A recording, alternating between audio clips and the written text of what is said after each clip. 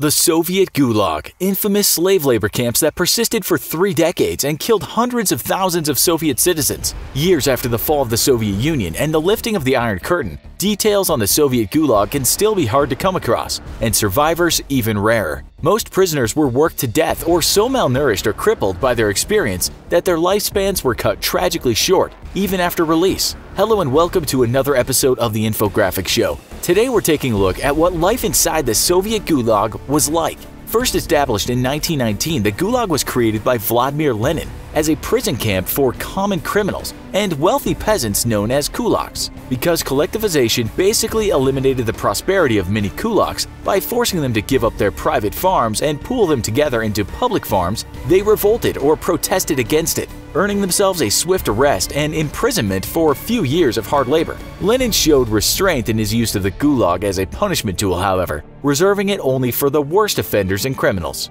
Yet after Lenin's death and Stalin's rise to power, one of the first things Stalin did was to dramatically increase the population of the gulags and oversee a rapid expansion of more labor camps. Anyone deemed an enemy of the state could be sent to a gulag, often with absolutely no trial. During Stalin's Great Purges, where he rid the government of opposing members of the Communist Party, the Gulag was the destination of choice for former military officers and government officials who were deemed disloyal that is, if they avoided a simple bullet to the back of the head. As the purges continued and grew in scope, Stalin began rounding up doctors, writers, intellectuals, students, artists, and scientists. Anyone who could oppose Stalin publicly and whip up public support could not be tolerated. Yet it wasn't just the accused who were targeted for imprisonment, as anyone with direct ties to the accused could also be rounded up and thrown in a gulag.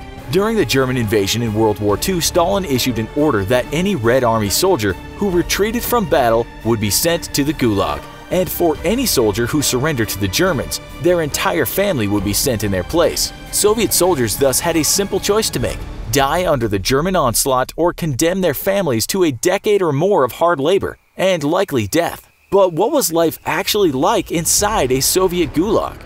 For starters, each camp housed a population of both men and women prisoners, often with the two intermingling and living together. This placed women at severe risk, as rapes from both the guards and other prisoners were commonplace. Women would often be forced to find a gulag husband, a man whom would protect them in exchange for sexual favors. If not, they would often be forced to perform those favors for the prison guards in exchange for some level of protection. Guards could coerce women to do what they wanted with the promises of better food, clothing, or perhaps shelter or simply do what they pleased with the female prisoners as they would face absolutely no repercussions for assaulting someone seen as an enemy of the state. Children too were at risk, as they were often thrown into prison camps along with the adult population and could also face the risk of being preyed upon by both the other prisoners and guards alike.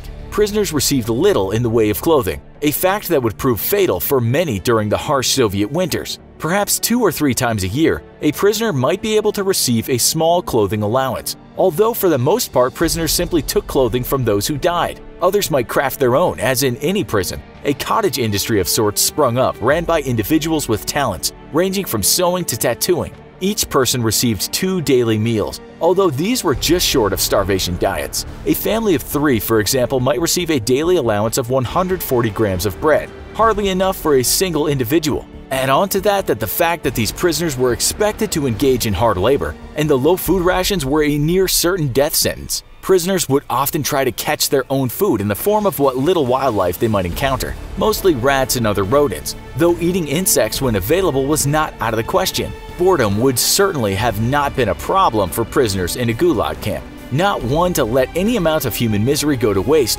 Stalin saw the gulags as an excellent source of free labor, just the thing to modernize a Russia that was far behind its modern competitors. Stalin immediately put the gulag prisoners to work on everything from collective farms to iron and copper mines, and felling trees to provide timber for the growing engine of the Soviet Industrial Revolution. Some of the Soviet Union's greatest engineering achievements were all thanks to slave labor. With the Moscow-Volga Canal, the White Sea-Baltic Canal, and the Kolyma Highway all built atop a pile of thousands of dead Gulag prisoners. In a very real sense, the Soviet Union was literally built on a pile of corpses. Prisoners would face 14-hour workdays, 7 days a week, all year round. While the harsh winters would force other industries to shut down, Gulag prisoners would toil in extremely cold weather, often without adequate clothing. Frostbite and hypothermia were common.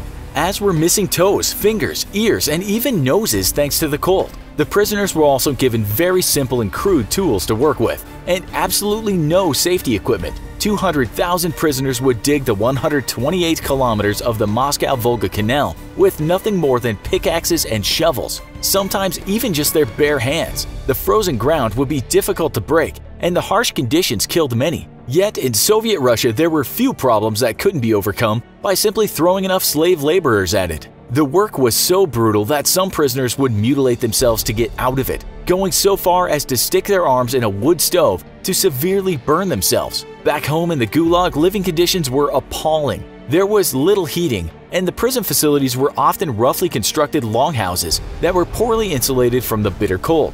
Overcrowding plagued the camps, with prisoners forced to sleep anywhere they could find a place to lay down, amidst dozens of their fellow prisoners. Gangs ran the gulags, preying on the weak and stealing or coercing food and other supplies from weaker prisoners. Most prisoners, however, were not imprisoned for life, but served sentences of varying lengths. Family members of suspected traitors, for example, would receive a minimum sentence of 5 to 8 years, and prisoners who made it to the end of their sentence were permitted to leave. If they worked extremely hard and surpassed their work quotas consistently, some prisoners even qualified for early release. Yet prison sentences could be extended without warning, prompting many prisoners nearing the end of their sentence to commit suicide out of depression. With an average 10% of the total population dying each year, however, making it to the end of your sentence was extremely unlikely. Immediately after Stalin's death in 1953, millions of prisoners were released. Nikita Khrushchev, Stalin's successor, was a staunch critic of the camps and most of the late dictator's policies,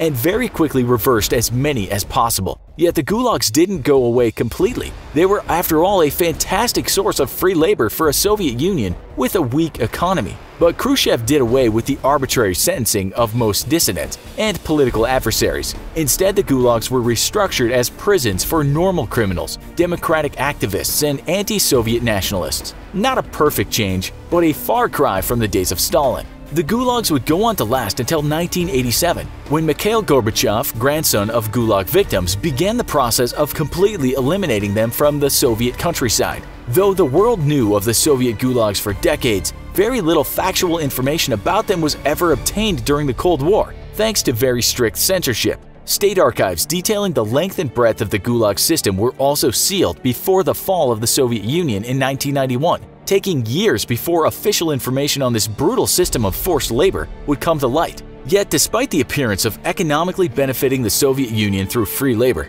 experts believe that the camps did not make a significant contribution to the Soviet economy, as without adequate food and supplies, Gulag prisoners were simply unequipped to provide productive results. How would you have survived a Soviet gulag? Let us know in the comments. Also, be sure to check out our other video called Could Russia Invade Europe? Thanks for watching, and as always, don't forget to like, share, and subscribe. See you next time.